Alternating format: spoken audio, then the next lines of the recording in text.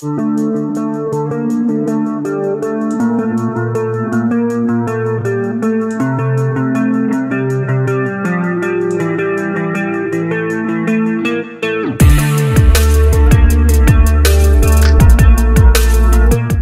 SAR gabungan berhasil menemukan Tersia, warga Kelurahan Hewuli, Kecamatan Alok Barat, Kabupaten Sika, yang hilang di kebun, Jumat, 26 April 2024.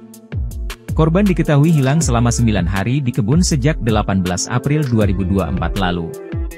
Kepala Basarnas Maumere, Supriyanto Ridwan mengatakan, setelah pencarian hari ketujuh tim SAR gabungan akhirnya menemukan titik terang, Korban ditemukan dalam keadaan meninggal dunia sekitar 1,81 km dari lokasi kejadian. Kata dia, tim SAR gabungan kemudian mengevakuasi korban menuju RSUD TC Hillers Maumere.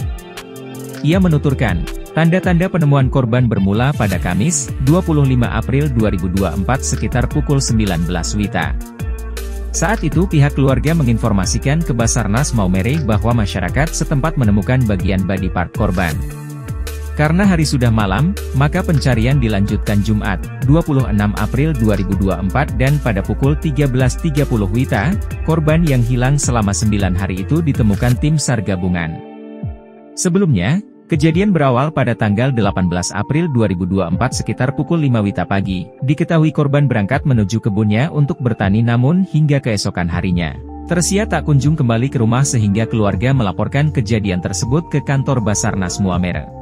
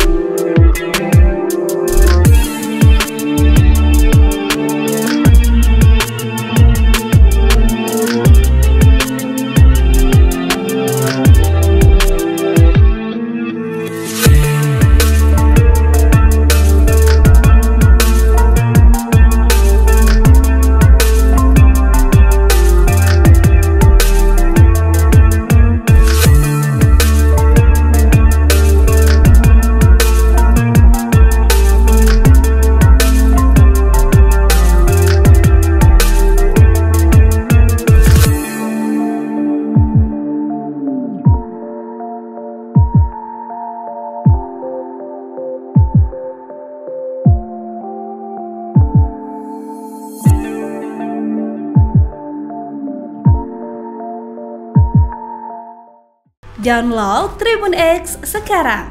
Menghadirkan lokal menjadi Indonesia.